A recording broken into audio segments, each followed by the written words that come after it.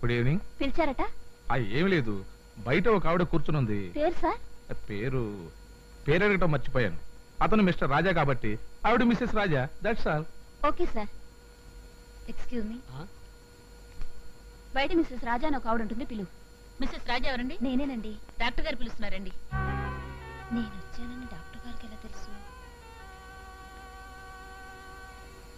నమస్తే నమస్తే కూర్చోండి. మీరు మిస్సెస్ రాజా కదూ? అవును. ఆ బల్ల మీద పడుకొని చెకప్ చేయాలి. నేను మీకెలా తెలుసు? మా చీఫ్ డాక్టర్ గారు చెప్పారు.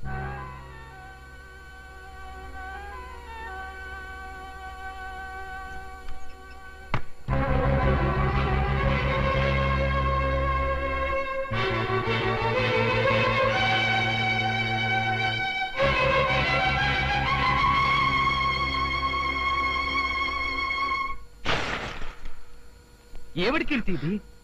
ఇక మీదట మన జీవితంలో రాజ ప్రసక్తే లేదండి. చెవండి ఒక ఆడదానికి నిజమైన సంతోషం కలిగేది తాళి కట్టించుకున్నప్పుడు కాదండి బిడ్డకు తల్లైనప్పుడు. కానీ మీరు నాకు అదృష్టం లేకుండా చేశారు. ఇప్పుడు నేను నిన్ను ఏమి చేశాను? నువ్వు ఇంతగా బాధపడిపోతున్నావు. మీరేం చేశారో మీకు తెలియదు ఏం చేశాను? నాకు అబార్షన్ చేయమని మీరు ఆ డాక్టర్ చెప్పలేదా? ఆ డాక్టర్ నాకు అబార్షన్ చేయలేదా? నీకు అపార్షన్ చేశాడా? చెప్పిన దానికి బాధపడకుండా నా ముందు నటిస్తారేమిటి? ఇందులో ఏదో పొరపాటు జరిగింది కీర్తి. నేను అబార్షన్ చేయమని చెప్పింది నీకు కాదు. మరెవరికి? స్వాతికి. స్వాతి ఎవరు ఆవిడ కూడా మిస్సెస్ రాజయ్యనా? అడుగుతున్నది మిమ్మల్ని. అది అది. అంటే నా అనుమానం నిజమేనమాట అది కాదు కీర్తి. మీరేం మాట్లాడకండి. చాలా రోజులుగా మీలో మార్పు వచ్చింది. నా భర్త నాకు ద్రోహం చెయ్యరు. నన్ను మోసం చెయ్యరు అన్న నా నమ్మకాన్ని మీరు సమూలంగా నాశనం చేశారు. మన ఇద్దరి మధ్య మరో మనిషి కాదు కదా. చివరకు గాలి కూడా చొరపడకూడదని నా పిచ్చి ఆశయాన్ని మీరు చాదస్తంగానే మిగిలి చేశారు.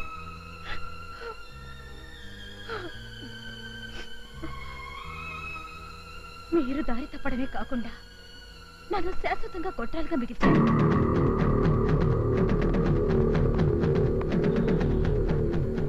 అంటే నీకు అపార్షన్ చేసేసారా? మీరు చేయమన్నాక చేయకుండా ఎలా ఉంటారు?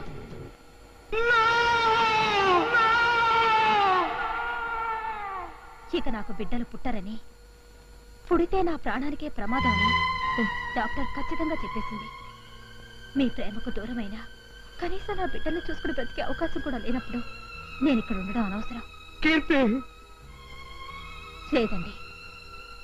ఇంకా నేను మీ భార్య స్థానంలో ఉండి మీ సంతోషానికి అడ్డు రావడం ఇష్టం లేకనే నేను మా ఇంటికి వెళ్ళిపోతున్నాను. నువ్వు వెళ్ళడానికి వీల్లేదు. నన్ను నేను తెలుసుకోకుండా తప్పు చేశాను. ఇంతకాలం నా సరదాలు సంతోషం కోసమే పరుగులు తీసి నేను ఒక భార్యకు భర్తనని నన్నే నమ్ముకున్న భార్యకు నేను ద్రోహం చేస్తున్నానని గ్రహించలేకపోయాను.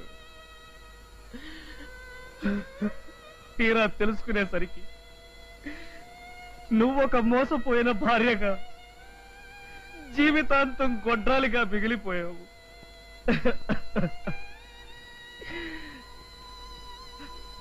నన్ను క్షమించు కీర్తి. కీర్తి. కీర్తి. కీర్తి. కీర్తి. కీర్తి. పరుగు తీస్తున్నావు? జీపీఎం ఏంది జీపు ఏదో రిపేర్ వస్తేను షెడ్ పంపించాను. నేను అర్జెంట్గా బస్కి వెళ్ళాలి వస్తాను. జర టైరో సాబ్. బస్సు అంటున్నావు ఏది ఊరు వెళ్తావు? అదే శ్రీకాకుళం వెళ్తున్నానండి. ఎందుకు? మా ఆవిడ కోసం. స్వాత్య ఆ, కాదండి మా ఇంటి ఆవిడ కోసం. మా ఇంటి ఆవిడ ఊరికి వెళ్తుంది ఓ. అర్జెంట్గా మ్యాటర్ ఒకటి చెప్పాలి వెళ్తాను. సరే నువ్వు తొందరలో ఉన్నట్టున్నావు నిన్ను బస్ స్టాండ్లో డ్రాప్ చేస్తా పద. ఎవరు మీరా? ఆ వద్దండి నేను ఆటోలో వెళ్ళిపోతాను. అంతది నాది బండి ఉండగా నువ్వు ఆటోలో వెళ్తానంటావు? జర కూర్చో. మాట్లాడుకుంటా కూర్చో. పట్టుకుంటే వదలండి చీళ్ళ పాకం అంటే వీడే కదా. అయితే మీ ఆయనకి స్ట్రాంగ్ డోస్ ఇచ్చావు అనమాట డబుల్ స్ట్రాంగ్ డోస్ ఇచ్చాను. పాప ఆయన గిలగల్లాడిపోతుంటే నేను గిలగల్లాడిపోయానే బుద్ధి రావాలంటే ఆ మాత్రం డోస్ తగలాలని ఇలా వచ్చేసాను. బుద్ధి రావడం సరే మీ ఆయన పెళ్ళికి వస్తారంటావా తప్పకుండా వస్తారు. ఆ, దిగు సాబ్. ఇక్కడ. ఇక్కడ దిగిపోతే బస్ స్టాండ్లో నా జీవితం దిగబడిపోతుంది. అదేంటి సాబ్? కొన్ని కొన్ని విషయాలు కొంతమందికి చెప్పలేము అదంతే. నా ఫేస్ చూడండి. అయితే నువ్వు ఈ బైక్ మీద కూర్చో భాయ్.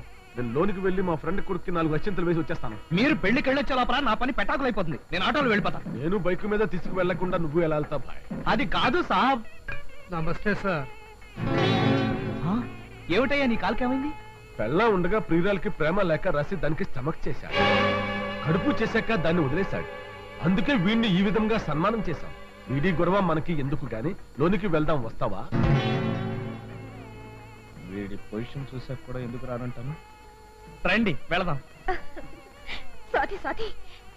స్వాతి ఆయన వచ్చేసరే. అయితే ట్రీట్మెంట్ మొదలు పెట్టు రాజా సార్ వీడిని చూస్తుంటే కడుపు మండిపోతుంది. పెళ్ళాన్ని మోసం చేసినందుకు ఒక కాలు తీసేశాం ప్రియురాల్ని మోసం చేసినందుకు రెండో కాలు తీసేస్తే ఎలా ఉంటుంది సార్ ఖాన్ సాబ్ ఈ ప్రశ్న మీరు నన్నే అడగాల. పైగా నేను అర్జెంట్గా బస్ స్టాండ్కి వెళ్ళాలి. కీర్తి ఎక్కడుందేమిటి? కీర్తి ఎవరు? సార్ కీర్తి ఏమిటి ఖాన్ సాబ్? అయితే మూర్తి అన్నావా? అన్నానా? ఆ? మూర్తి అన్నాను. మూర్తి మూర్తి. అచ్చా అచ్చా బయట బయట. కీర్తి ఎక్కడుందేమిటి? ఆ? కీర్తి ఎక్కడికి రాజా సార్ కాలు తిమ్మిరెక్కినట్టుంటేను ఒకసారి అట్లా తిరిగొద్దామని. కాలు తిమిరి ఎక్కిందా? చూసావా కాలు ఉంటేనే బాధలన్నీ. వాడికి ఆ బాధే లేదు. పుల్లూటు వాయించి నా పిల్లలకే లైట్ కొట్టాలని చూస్తావురా? చెప్తా.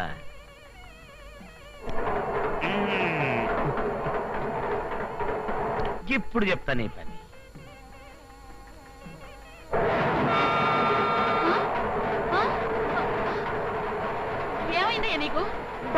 వచ్చిందే కానీ నీకు బుద్ధి రాలేదు.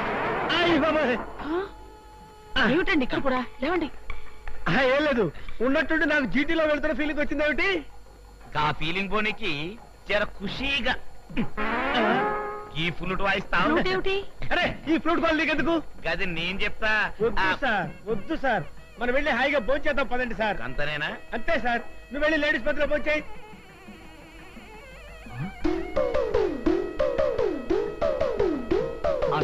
చూపేంట్రా కొట్టనట్టు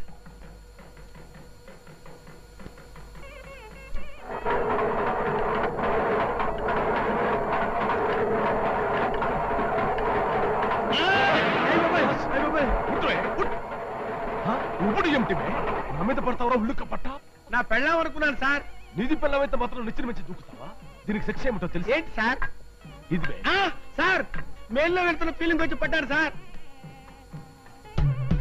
కీర్తి అమ్మా. కీర్తి కీర్తి కీర్తి అమ్మా.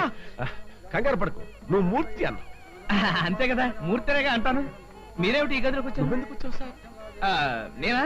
సరదాగా కాలు తిమ్మిరెక్కింది కదా వాకింగ్ చేద్దామని. అవును అవును కాలు తీమిరెక్కింది కదా. కీర్తి నమస్తే ఇన్స్పెక్టర్ సాబ్. నమస్తే ఖాన్ సాబ్. ఏం బాబురావు? బాబురావు ఏంటండి నా పేరు రాజా? చావు ఊరుకో బాబురావు. అవును ఇక్కడ కూడా పరుగులు తీస్తున్నావు ఏంటి. పంపతీసి ఇక్కడ కూడా నీ భార్యని మరదల్ని జాయింట్గా తీసుకొచ్చావా క్యా సాబ్? మా రాజా సాబ్ని పట్టుకుని భార్య మర్దలు అంటున్నారు. మా రాజా సాబ్ మీకు ఇంత ముందే తెలుసా? చాలా బాగా తెలుసు. ఓసారి మెలోడీ థియేటర్కి తన భార్యని మరదల్ని తీసుకొచ్చాడు. కానీ కిందకి పైకి తిరగడంలో మేనేజర్కు అనుమానం వచ్చి నాకు ఫోన్ చేశాడు. అప్పుడు నేను వెళ్ళేసరికి ఎంత పెద్ద గొడవ అయిందంటే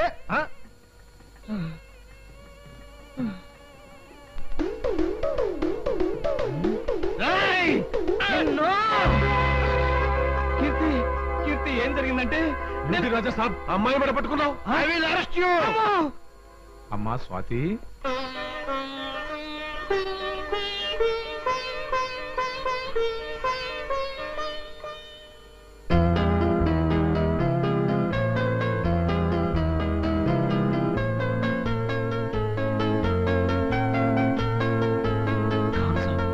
మీరు చెప్పేది నిజమా? అవును సాబ్ జరిగిందంతా నాకు స్వాతి బాయన కీర్తి బాయన చెప్పారు.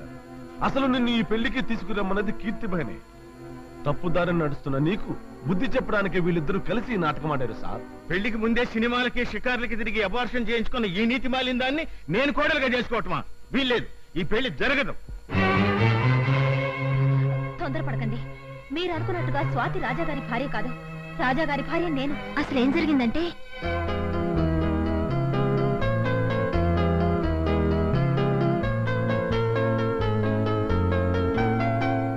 చెకప్ చేశారా? చేశాను సార్. ఇప్పుడు ఆవిడకి నాలుగో నెల. పైగా ఆవిడకి అబార్షన్ చేయించుకోవడం ఇష్టం లేనట్టుంది. అయితే ఆ రాజా అతని భార్యకు తెలియకుండానే ఆవిడకి అబార్షన్ చేయించదలిచాడనమాట సరే మీరు ఆవిడ అడిగినట్లుగానే ఆవిడకి కావాల్సిన మందులు రాసామండి మీ ఆయన ఏమీ చెప్పకుండా నన్ను సడన్గా హాస్పిటల్కి తీసుకెళ్ళి అబార్షన్ అంటే నాకేం చేయాలో అర్థం కాలేదే. డాక్టర్ మాట విని నేను ఆయన నిజంగానే అపార్థం చేసుకున్నాను. ఏదేమైనా ఆ టైంకి నేను అనుకోకుండా వచ్చాను కాబట్టి ఆ గండం గట్టెక్కిపోయింది. ఇప్పుడు ఏం చేయాలో చెప్పు. చేయడానికే ఉంది. డబుల్ గేమ్ ఆడలేక మీ ఆయన చేతులెత్తేసినట్టే. అంటే మనం ఆడి నాటకం సక్సెస్. చాలా చాలే అమ్మా. జీవితంలో నాటకాలు ఆడిన దాన్ని కోడలుగా చేసుకుంటే రేపు పొద్దున పెళ్ళి అయ్యాక కూడా మరొకరితో నాటకాలు ఆడదాని గ్యారెంటీ ఏమిటి? ఈ పెళ్ళికి నేను ఎంత మాత్రం అంగీకరించను. పీటల మీద పెళ్ళి ఆపించి నా కూతురు బతుకు నాశనం చేయటం మీకు భావ్యం కాదు. ఏమిటయ్యా భావ్యం కాదు? నీకు బాగా డబ్బు లేకపోయినా కాస్త పరువు అయినా ఏడ్చింది అనుకున్నాను ఆ పరువు కూడా ఆడనప్పుడు నీతో నే సంబంధం కలుపుకోవడం ఏమిటి? రండి సార్. రారా. వదలమ్మా. ఏమిటమ్మా ఇదంతా? ఆ? ఏమిటి చెప్పు? నీకోసం ఇది నాటకాలు ఆడటం ఏమిటి? అందువల్ల నీ కాపురం బాగుపడి దీని పెళ్ళి ఆగిపోవడం ఏంటి? ఏమిటమ్మా ఈ న్యాయం?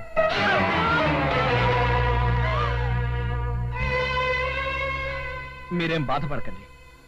ఆ చలపతిరావు కాళ్ళు విరగ్గొట్టైనా సరే ఈ పెళ్ళి నేను జరిపిస్తాను. ఆగండి. అలా చేయడం వల్ల దీని పెళ్ళి జరగదు. జరగకపోతే వారం రోజులు తిరగకుండా ఇంతకంటే మంచి సంబంధం తీసుకొచ్చి పెళ్ళి చేస్తాను. జరిగింది తెలిసాక వాళ్ళు మాత్రం చేసుకుంటారా?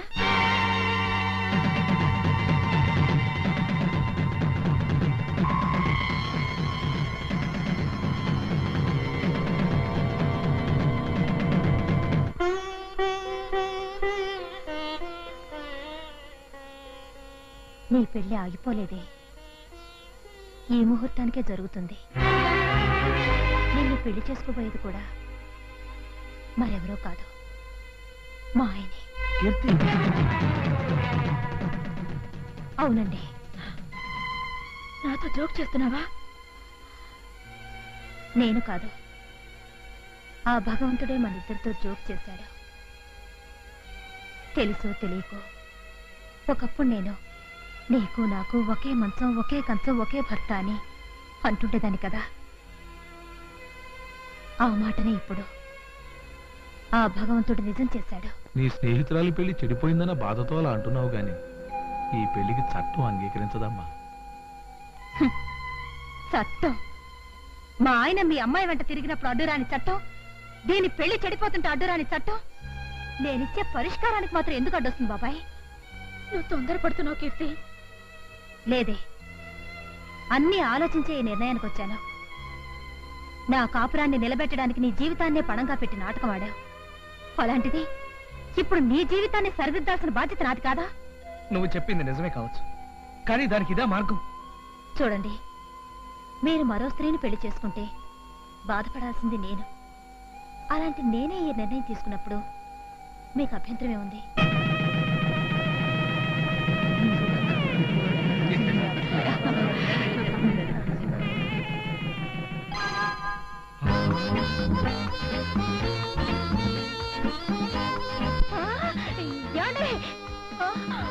అయ్యో ఏమండి?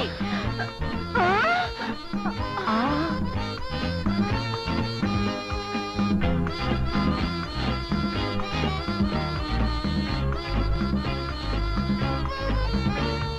అరే ఏమిటిదంతా ఏం లేదండి ఊగితే ఫట్టకమని చేజారి పడిపోయింది అనమాట నువ్వు లోపలికి కాఫీ తీసురా నువ్వు శుభ్రంగా క్లీన్ చేయి?